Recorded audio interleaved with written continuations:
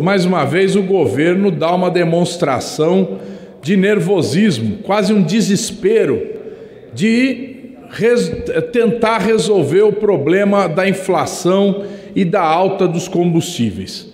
O governo vem novamente com a política de desorganizar as finanças públicas e não apenas desorganizar as suas próprias finanças do governo central, mas também desorganizar as finanças dos estados e municípios.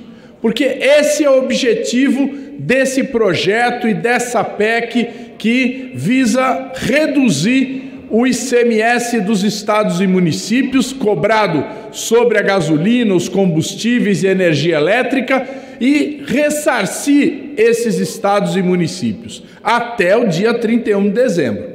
E aí fica evidente o objetivo eleitoreiro dessa proposta, porque outro não é o objetivo.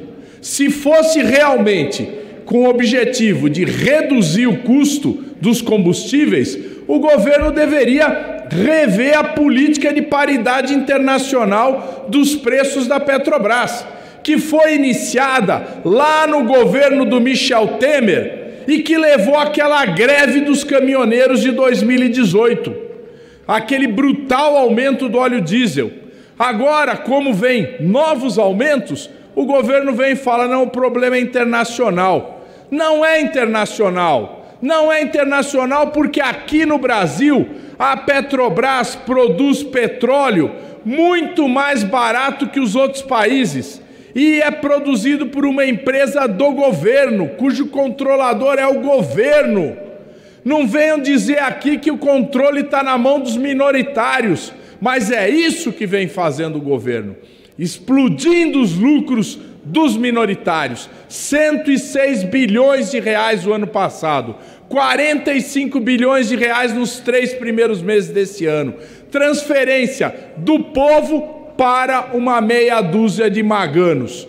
Isso tem que acabar. Se quiser resolver a inflação, o custo de vida, o preço do gás, o preço do óleo diesel, o governo tem que mudar a política de paridade e tem que fazer com que a Petrobras seja importadora de petróleo, de óleo diesel, porque é aí que ela pode fazer um mix de preço e reduzir os valores. Eu me lembro muito bem, senhor presidente, que na época do governo Dilma estava a 120 dólares o barril do preço do petróleo no mercado internacional, mas era 3,50 aqui na bomba de gasolina. E hoje, os mesmos 120 dólares o barril são 7 reais na bomba de combustível. Portanto, o que está errado é o preço da Petrobras. É aí que tem que ser mudado.